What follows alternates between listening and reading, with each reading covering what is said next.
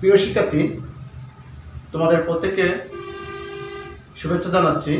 আমি মোহাম্মদ শাহিনুর রহমান, প্রভাষক, ইসলামের ইতিহাস ও সংস্কৃতি শিমুরে জাইবুল কলেজ গত ক্লাসের ধারাবাহিকতায় আজ আমাদের আলোচ্য বিষয়, আরবদের সিন্ধু বিজয়ে ঘটনার বিবরণ। প্রিয় শিক্ষার্থী, গত ক্লাসে আমরা আলোচনা করেছিলাম আরবদের সিন্ধু বিজয়ের প্রেক্ষাপট বা কারণ। সেখানে আমরা দেখতে পাই যে যে সকল কারণে আরবরা সিন্ধু অভিযান করেন, তার ভিতরে অন্যতম ছিল, পরো- পরোক্ষ কারণের ভিতরে ছিল ধর্মীয় কারণ, অর্থনৈতিক কারণ, পূর্বের অভিযানের ধারাবাহিকতা, পারস্যবাসীকে সহযোগিতা দান, বিদ্রোহীদেরকে আশ্রয় দান প্রভৃতি। এছাড়া প্রত্যক্ষ যে কারণটি ছিল, সেটি ছিল আটটি জাহাজ লুণ্ঠন। গত ক্লাসেই তোমরা জেনেছ যে শিমলের রাজা, তিনি উমায়া খলিফা আল অলিদ এবং হাজ্জাজ বিন ইউসুফের জন্য যে আটটি জাহাজ ভর্তি উপঢৌকন প্রেরণ করেছিলেন। সেই উপঢৌকন সিন্ধুর দেবল বন্দরে এসে জলদস্যু কর্তৃক যখন লুণ্ঠিত হলো, তখন হাজ্জাজ বিন ইউসুফ রাজা দাহিরের কাছে তার ক্ষতিপূরণ আদায় করেন। দাবি করেন। কিন্তু অপরিণামদর্শী রাজা দাহির সেটি প্রত্যাখ্যান করায় হাজ্জাজ বিন ইউসুফ সিন্ধু অভিযানের সিদ্ধান্ত গ্রহণ করেন। এটি ছিল সিন্ধু অভিযানের প্রত্যক্ষ কারণ আজ আমরা আরবদের সিন্ধু বিজয়ের যে ঘটনার বিবরণ, সেটি নিয়ে আলোচনা করব। প্রিয় শিক্ষার্থী তোমরা গত ক্লাসে জেনেছ যে পূর্বে আলো আলোচিত এই কারণগুলো, এই কারণগুলোর পরিপ্রেক্ষিতে সাতশো সাতশত দশ খ্রিস্টাব্দে ওবায়দুল্লাহ ওবায়দুল্লাহ নেতৃত্বে হাজরাজ বিন ইউসুফ একটি অভিযান প্রেরণ করেন, সিন্ধু রাজা দাহিরের বিরুদ্ধে।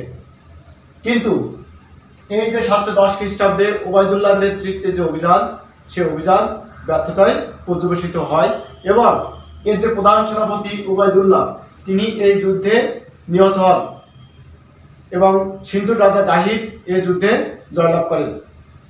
পরবর্তী সময়ে আমরা দেখতে পাই সাতশত এগারো খ্রিস্টাব্দে বুদাইলের নেতৃত্বে সাতশো এগারো খ্রিস্টাব্দে সরি। বুদাইলের নেতৃত্বে হাজাজ ইউসুফ আরও একটি অভিযান প্রেরণ করেন সিন্ধু রাজা দাইরের বিরুদ্ধে। কিন্তু দুর্ভাগ্যবশত সাতশো এগারো খ্রিস্টাব্দের এই অভিযানটিও ব্যর্থতায় পর্যবেসিত হয়।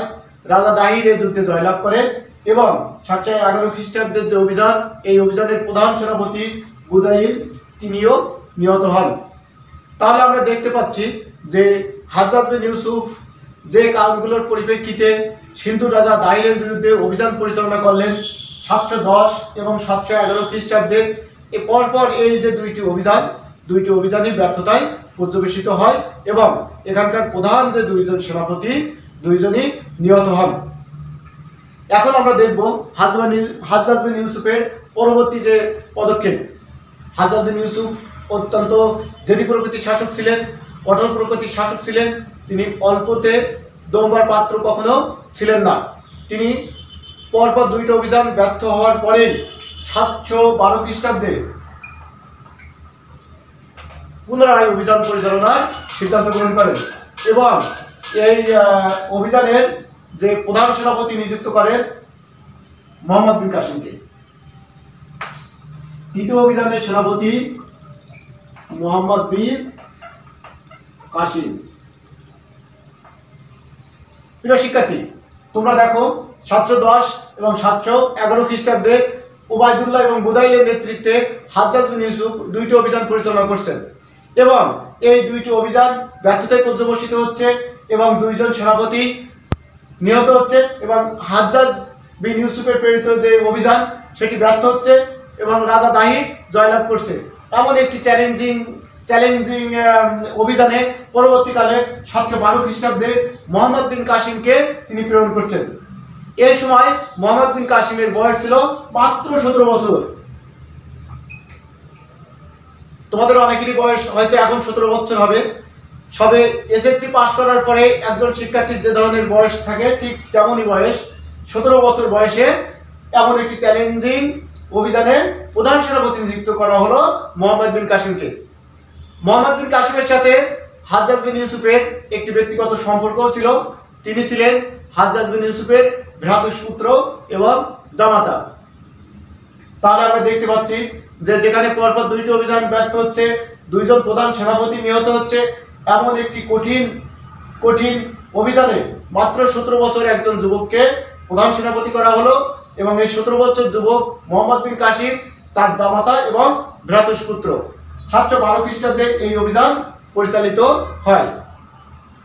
মোহাম্মদ বিন কাশিম প্রধান সেনাপতি নিযুক্ত হওয়ার পরেই মোহাম্মদ বিন কাসিম প্রধান সেনাপতি নিযুক্ত হওয়ার পরে ছয় হাজার সিরীয় এবং ইরাকি দক্ষ যোদ্ধা, সমসংখ্যক উষ্ট্রদ্রোহী এবং তিন হাজারের মতো ভারবাহী পশু সহ তিনি সিন্ধুর দিকে অগ্রসর হন।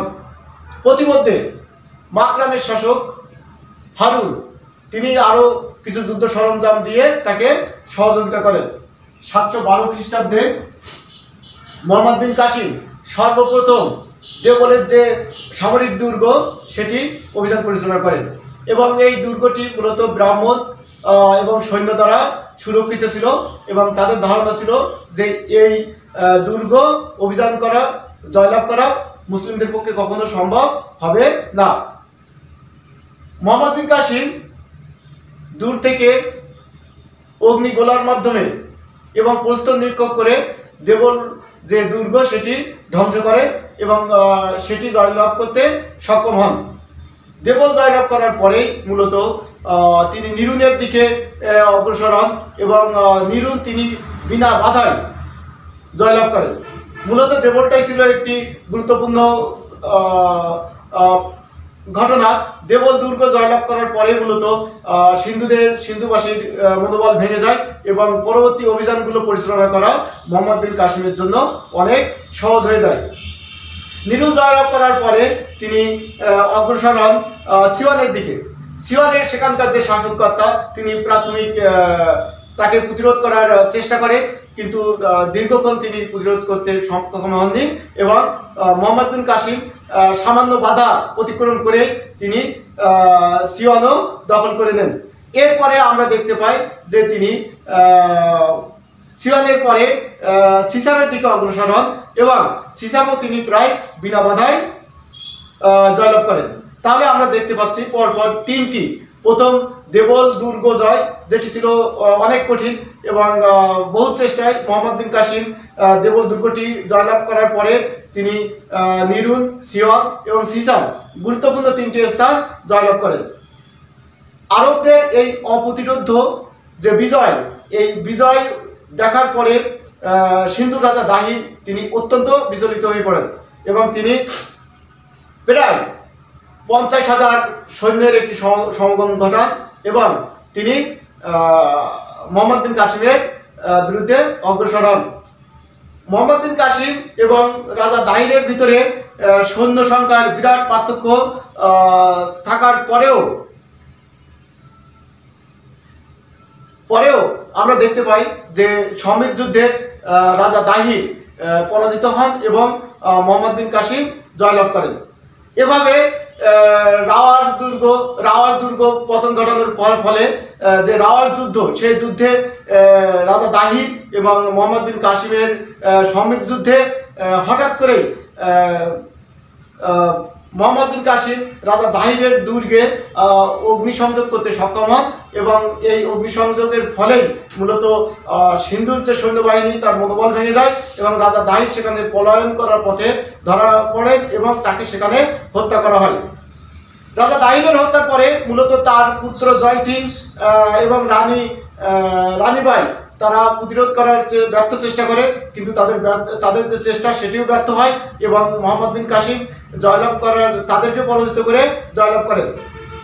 রাজা দাহিরের মৃত্যুর পরে, তার পুত্র জয় সিং পরাজিত হওয়ার পরে রানী, রানীবাই, তিনি বুঝতে পারেন যে আর আরব বাহিনীকে প্রতিরোধ করা সম্ভব নয়। এই কারণে তিনি তার সখীদের নিয়ে জহরব্রত পালন করেন। প্রিয় শিক্ষার্থী জহরব্রত শব্দটা তোমাদের জন্য অনেকটা অপরিচিত মনে হতে পারে।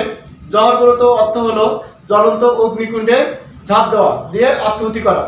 তারা মনে করে যে আরবদের হাতে বন্দী হওয়ার থেকে তাদের এই জহরব্রত পালন করাটাই সবচেয়ে শ্রেয় বিধায় তারা রানী রানীবাই তার সখীদের নিয়ে এই জহরব্রত পালন করে। এরপরে মোহাম্মদ বিন কাসিম রাজা দাহিরের অপর যে পত্নী রানী লাদি এবং দুইজন কন্যা সুরুজ দেবী এবং পরিমল দেবী দুইজনকে গ্রেপ্তার করেন। এরপরে আমরা দেখতে পাই যে সিন্ধু বিজয়ের পরে মোহাম্মদ বিন কাসিম দেবলের দিকে অগ্রসর হন এবং সাতশো তেরো সাতশো তেরো খ্রিস্টাব্দে মোহাম্মদ বিন কাসিম দেবলও অধিকার করেন। দেবল অধিকার করার পরে মোহাম্মদ বিন কাসিম এত পরিমাণ স্বর্ণ সেখান থেকে হস্তগত করেন যে দেখে তিনি অবাক হয়ে যান। এবং আরবরা মুলতানকে মূলত আহ, স্বর্ণ নগরী হিসেবে আখ্যায়িত করেন। এভাবে আমরা দেখতে পাই সাতশো বারো খ্রিস্টাব্দে সিন্ধু এবং সাতশো তেরো খ্রিস্টাব্দে দেবল। এই দুটি গুরুত্বপূর্ণ শহর দুটি গুরুত্বপূর্ণ প্রদেশ আরবদের হস্তগত হয় এবং ভারত উপমহাদেশে সর্বপ্রথম সিন্ধু এবং মুলতানে এই দুইটি জায়গায় মুসলিম শাসন প্রতিষ্ঠিত হয়, যেটি হয়তো খুব দীর্ঘস্থায়ী হয়নি। সেটির মূলত কারণ ছিল মোহাম্মদ বিন কাসিমের অকাল মৃত্যু। যদি মোহাম্মদ বিন কাশ্মীরের অকাল মৃত্যু না ঘটতো, তাহলে হয়তো এই অভিযানগুলো ভারতের অন্যান্য প্রদেশেও সে সময় প্রসারিত হতে পারত এবং মুসলিম শাসন আহ, আরও বিস্তৃতি লাভ করত। কিন্তু তার অকাল মৃত্যুর ফলে সেটি আর সম্ভব হয়নি।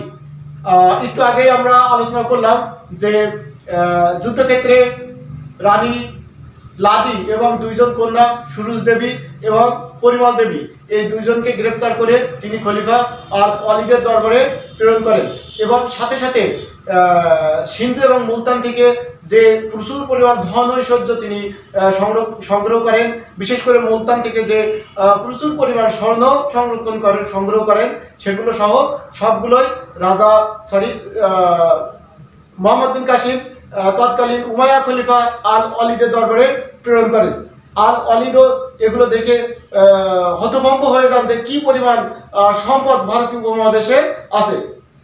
তো এভাবে সাতশো বারো এবং সাতশো তেরো খ্রিস্টাব্দে ভারত উপমহাদেশের দুইটি গুরুত্বপূর্ণ প্রদেশ সিন্ধু এবং মুলতান আরবদের শাসনাধীনে আসে এবং সেখানে দীর্ঘদিন কয়েক শতাব্দী ব্যাপী মুসলিম শাসন প্রতিষ্ঠিত হয়।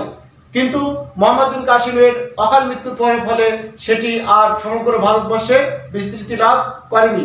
সেটি ভারতীয় উপমহাদেশে সমগ্র ভারতবর্ষে বিস্তৃতি হতে আরও প্রায় দুই, তিন শতাব্দী সময় লেগে যায়। তোমরা জানো যে মোহাম্মদ বিন কাসিমের মৃত্যুর পর পরবর্তীকালে গজনী সুলতান মাহমুদ এক হাজার খ্রিস্টাব্দ থেকে এক হাজার সাতাশ খ্রিস্টাব্দ এই সাতাশ বছরে মোট সতেরোবার ভারতবর্ষ অভিযান করেন এবং এখান থেকে প্রচুর ধন সম্পদ তিনি সংরক্ষ, সংগ্রহ করে তিনি তার নিজের রাজ্য গজনীতে ফিরে যান।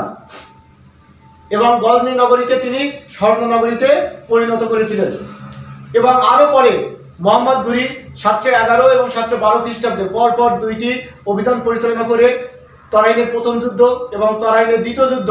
পরপর দুইটি যুদ্ধে একটিতে পরাজয় পরেরটি জয়লাভ করার পরে মূলত ভারত উপমহাদেশে স্থায়ীভাবে মুসলিম শাসন প্রতিষ্ঠিত হয়।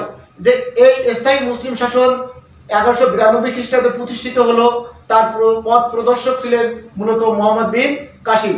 সাতশো বারো খ্রিস্টাব্দে তিনি সিন্ধু এবং সাতশো তেরো খ্রিস্টাব্দে তিনি মুলতানে যে শাসন প্রতিষ্ঠিত করেন, তার ধারাবাহিকতায় মূলত সাতশো এগারোশো বিরানব্বই খ্রিস্টাব্দে মোহাম্মদ ঘুরি ভারত উপমহাদেশে স্থায়ী মুসলিম শাসন প্রতিষ্ঠিত করতে সক্ষম হয়েছিলেন। প্রিয় শিক্ষার্থী আজকের ক্লাস এই পর্যন্তই। আজ আমরা মূলত আলোচনা করলাম আরবদের সিন্ধু বিজয়ের যে ঘটনা, তার বিবরণ নিয়ে। আগামী ক্লাসে আমরা আলোচনা করব মোহাম্মদ বিন কাসিমের অকাল মৃত্যু এবং আরবদের সিন্ধু বিজয়ের যে ফলাফল ছিল, সুদূর প্রসারী ফলাফল, সেটি নিয়ে। সেই পর্যন্ত তোমরা প্রত্যেকেই সুস্থ থাকবে। এই প্রত্যাশায় আল্লাহ হাফেজ।